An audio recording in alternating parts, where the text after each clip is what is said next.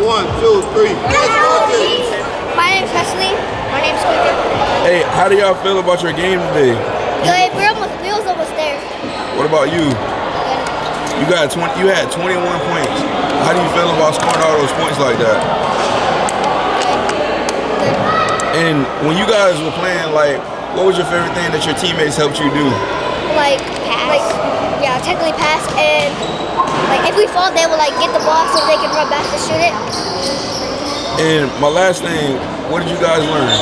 We learned to have fun and you should learn how to play basketball. And you should pass and run up, run up, and try to it. Good job, guys. Um, yeah. And did y'all have fun today? Yes. Since y'all won the game, how do y'all feel about winning the game today? Good. And did you learn anything from your teammates? Yes. What'd you learn? That they pass the ball a lot, and once they fall, they um, pass the ball back so the other, so our other teammate can score.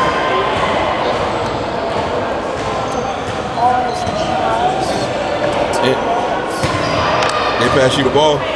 And my last thing is, did you guys have fun?